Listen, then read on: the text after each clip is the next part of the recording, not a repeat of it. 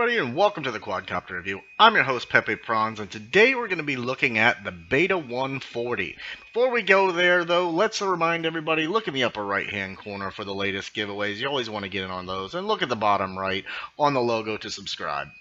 So the first thing we're going to do is take a look at our parts list. Now remember when I do builds, I don't do all the soldering and the things like that and film that because that just takes too long and I don't think it's that exciting of a thing to do.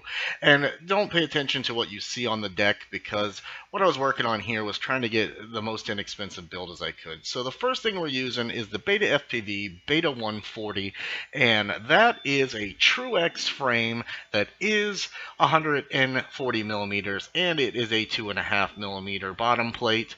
We have side plates here, little side plates that are coming in at one millimeter and those go attached to these aluminum side plates here, which are nice and thick, you know, that's 8 millimeters, something to that degree.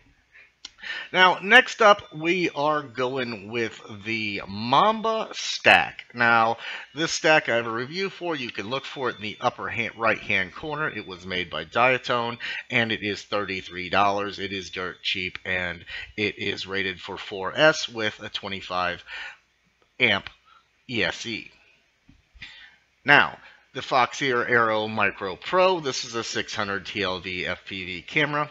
We're using the FrSky XM Plus. I used an XT60, that way I could hook it up to one of my bigger batteries. We're also using the Runcam TX200, which maybe a lot of you haven't heard of, but that is a 25200 switcher.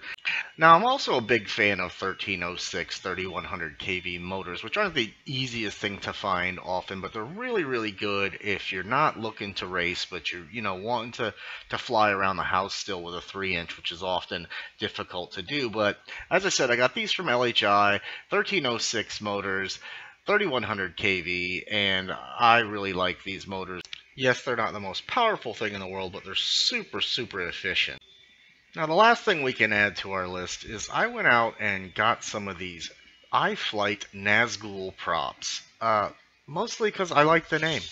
How cool is it to, to say I've got Nazguls on my, my quad? Now, they're a pretty aggressive prop, coming in at 3061, so that's, that's pretty aggressive pitch for a prop when I say I'm making a cruiser, but I didn't have too many problems with it. I mean, I normally would go with something like on these uh, 1106 motors, I'll usually go with something more like this uh, Gemfan 4 blade.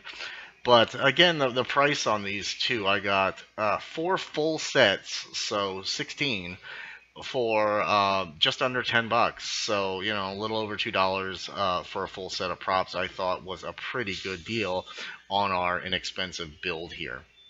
So, speaking of cost, let's go ahead and look at the build cost. So, the cost of this build, we'll break it down item by item. The Beta FPV frame was $30. The Diatone Mamba was $33. The Foxeer Arrow Micro Pro was $20. The Runcam TX was $15. The LHI 1306 motors were $30 for all four, $15 for the FrSky XM Plus, and basically $2 for the iFlight Nazguls. So that's going to give us a grand total of $145 on our little home build here. And once again, links will be in the description and in the comments below if you're interested in any of these parts. Now let's talk about the one challenge I did have during the build. I wasn't quite aware that how low profile the top plate is, so I think that's just 20 millimeters. So the Mamba stack itself did fit in there pretty snugly, but it did fit. And of course you could adjust this up with some risers if you needed to. But what I had to do once I mounted it is I did have to mount my VTX and my receiver on the top part of it, I just printed out a little TPU flat piece uh, that would hold both of those items, and I made that work. So you'll be able to see here as I give you an underlook there that it did fit. It is tight, but it's not pressing against the board. I don't have any carbon fiber on the board or anything. And right there on top, I designed and made that little TPU piece to hold both my receiver and the VTX so they don't sit on each other without having some TPU between them. Uh, don't laugh at me about the antennas, but uh, the XM Pluses I have came with these super long antennas and I, you know, just went with it instead of changing them out. So I'm going to run an 800 3S mAh on this, and that usually works pretty good on this kind of flight. It doesn't compromise weight and still gives me the power I need.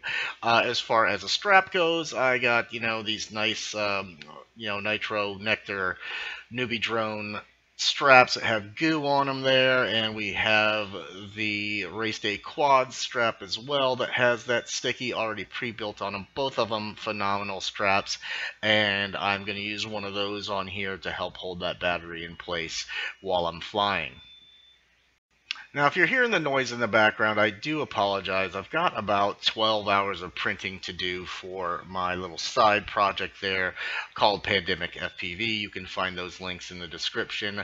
That is where I will print any TPU or PLA product for you that you find on Thingiverse or any of my own for your little quads. And that's how we earn money for the channel instead of asking for Patreons.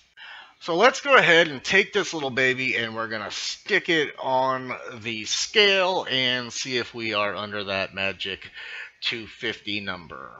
So let's put the quad up here. I'm going to get the cable in there too because that does count as some weight.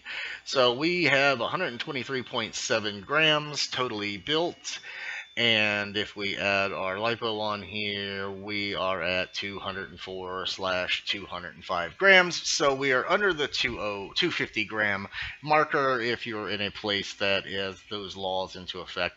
I also apologize for those little pointy uh, bolts there. I didn't have left and right hand screw bolts. I only had right hand screw bolts because these motors are still sold in clockwise and counterclockwise versions, so you do need your uh, goofy threaded bolts in order to use a standard bolt, and they come with these little arrows.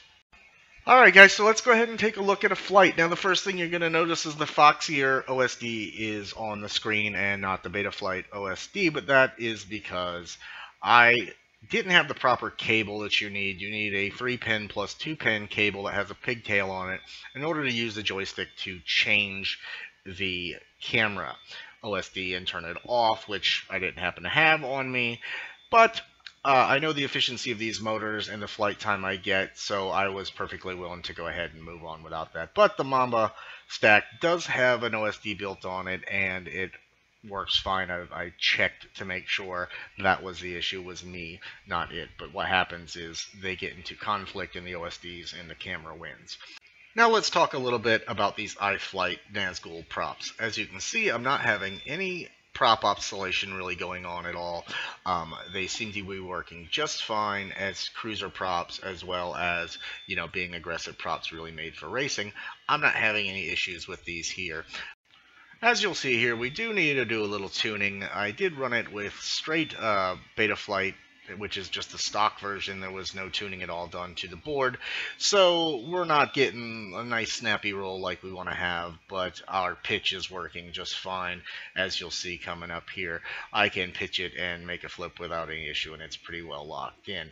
Now, next we can talk about the motors. The motors themselves, I hope you can see here from the footage, are again not aggressive, but but they're nice little cruisers. I mean, you can get the speed and you can get the punch when you need to, but at the same time, you're getting that efficiency and you're getting that nice smooth cruise effect. If I mounted a smaller camera on here like the Firefly or something like that, I'm to get some nice HD footage that actually you can follow with your eye instead of getting motion sick while I'm doing like 50 flips and things like that. That's which is just not my style. My my style is a bit more of a cruiser.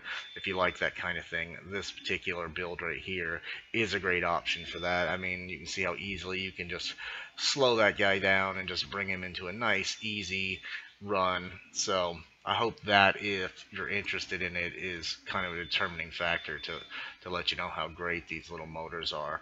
Now, the VTX, I'm not seeming to have much of an issue with at all. You know, it's it's fairly clear. Uh, it's on 200 megahertz. Uh, I'm have the house fully, you know, in my way, and I'm only running into issues when I get the house and the tree between me.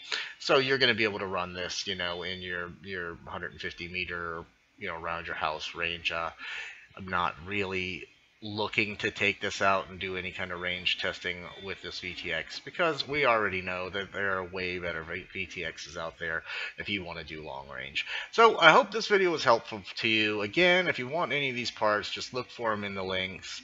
Uh, don't forget to subscribe and like this video. And as always, guys, enjoy this hobby. Happy flying. Hey guys, thanks for stopping by and checking out the quadcopter review. If you want to see more interesting reviews on FPV related stuff, take a look up here in the old right corner right there. You'll find links to all the rest of my reviews. If you want to get in on some of the best giveaways on YouTube, look over here. Don't forget to subscribe right here on my chin.